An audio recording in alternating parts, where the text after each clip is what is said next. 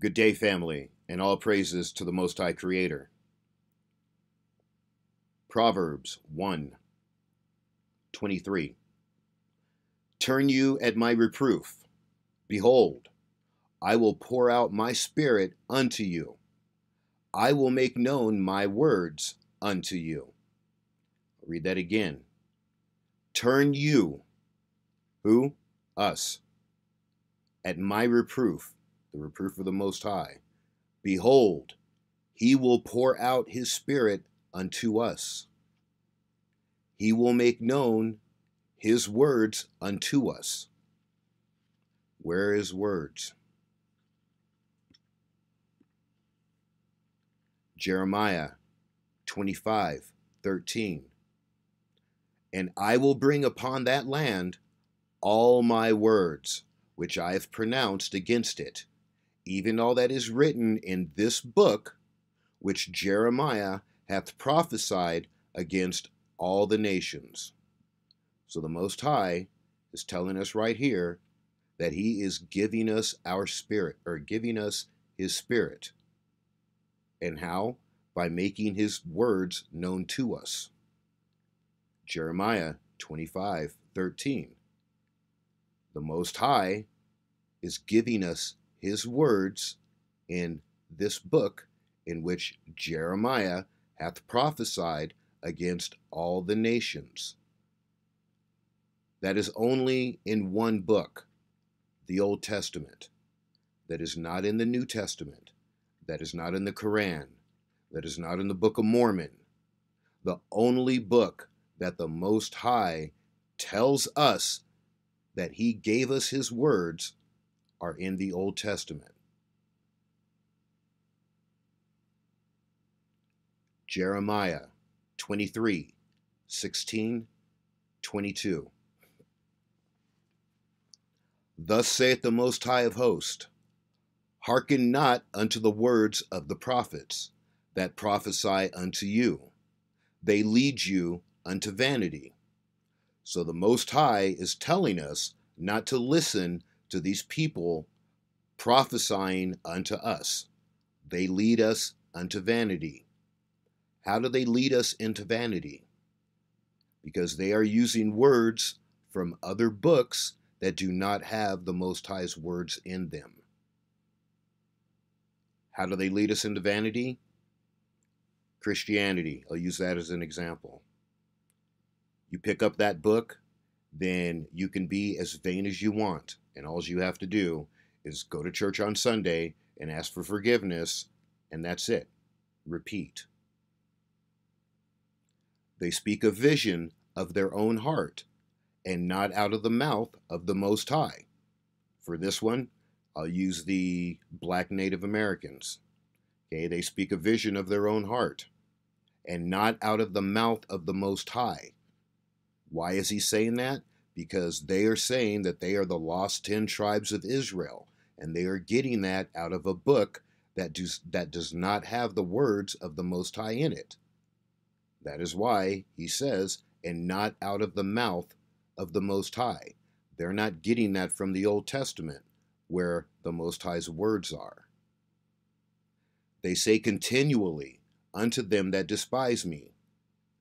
Who despises the Most High? Us. What do they say? The Lord hath said, You shall have peace, or ye shall have peace. If you accept cheese and rice as your Lord and Savior, then you will have peace. Okay? We know that's a lie. And unto every one that walketh in stubbornness of his own heart, they say, No evil shall come upon you. Okay? Who are these people that are walking in the stubbornness of their own heart? Okay. The Most High tells us that we are going to be sent away on ships to a land that neither our fathers knew or us, and we will be surrounded by the enemy. Okay. So, these Europeans that are walking around with stubbornness in their own hearts, okay, they were here when we got here. That makes them the enemy. Okay. The Native Americans, when we got here on ships, where were they? They were already here. That makes them the enemy. Okay? The Most High is not talking about the stubbornness in their heart. The black Native Americans that say they never came here on ships, they were here when we got here. They are the enemy. The Most High is not talking about them. Mexicans, when we got here, they were here. The Most High isn't talking about them. He's talking about you and only you. Sorry about the rant. And they say, oh, hold on. Okay, and they say, no evil shall come upon you. If you accept cheese and rice into your heart, which is in the New Testament, then no evil shall come upon you. You will be protected. We know that's a lie. And by you even asking to have JC come into you, that's evil right there. For who hath stood in the counsel of the Most High? That he should perceive and hear his word. Obviously, not these people preaching out of these other books, because if they heard the Most High's word, they wouldn't be doing it. Who hath attended to his word and heard it? Obviously, not these people out here preaching all these things that go directly against the Most High and go directly against the Old Testament. They obviously have not heard his word. Behold, a storm of the Most High is gone forth in fury. Yea, a whirling storm, it shall whirl upon the head of the wicked. The anger of the Most High shall not return until he have executed, until he hath performed the purpose of his heart. Do you know what the purpose of the Most High's heart is? It's all in the Old Testament. You know where you're not going to find it? The New Testament, the Quran, the Nag the Book of Mormon. You will not find the purposes of the Most High's heart in those books. In the end of days, ye shall consider it perfectly. Do you see?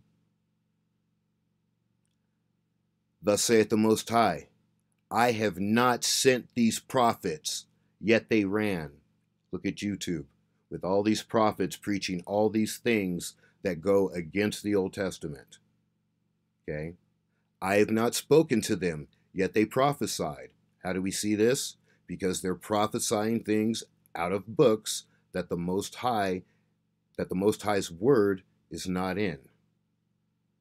But if they have stood in my counsel, then let them cause my people to hear my words, and turn them from their evil way, and from the evil of their doings. This is pretty deep. Then let them cause my people to hear my words, tells us, excuse me, family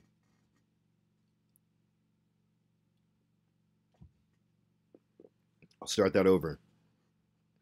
Then let them cause my people to hear my words. That right there tells me that these prophets that he didn't send are not us.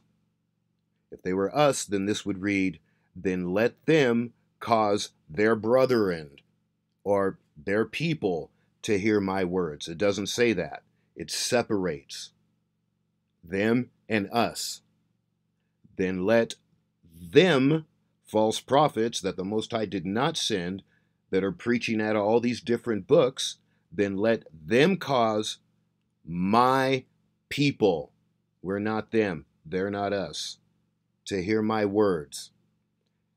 And how are these prophets that the Most High didn't send, that are preaching out of all these other books, how are they going to turn us from our evil way?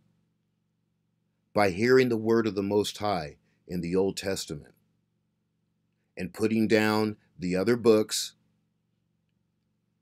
In turn, we will not put down the word of the Most High and follow their vanities and their evil ways. And how are these false prophets that the Most High didn't send, that aren't us, how are they going to stop us from the evil of our doings.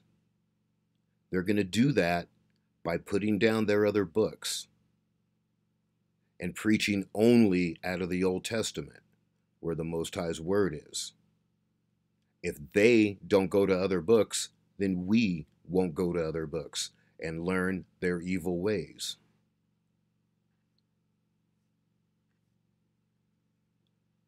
A false prophet who was stood in the council of the Most High will cause his people, the Most High's people, to hear his words. The Almighty Creator tells us that his words are in the book that the prophet Jeremiah prophesied in against all the nations. The book of Jeremiah and his prophecies are only in the Old Testament. The Most High didn't say his words were in any other book. Not the New Testament, not the Quran, not the Nag not the Book of Mormon, not the Apocrypha, none of these books. Only the Old Testament. So anyone preaching from any book that isn't the Old Testament or is preaching something that goes against the Old Test that goes against the Old Testament is teaching falsely. If their false teachings have been brought to their attention and they continue to preach out of other books, they are a false prophet per the Most High. Not by me, but by the Most High's own words in His only book, the Old Testament. He tells us not to listen to these false prophets, to ignore them. Are you going to reject the word of the Most High? Are you going to put down his book to learn from another book that doesn't have his words in it? After he told you that his words were in the Old Testament, are you going to reject the Spirit and the words of your Most High Creator? As always, family, fear your Creator and all praises to our Most High Creator, Redeemer, and Savior of Abraham, Isaac, and Jacob.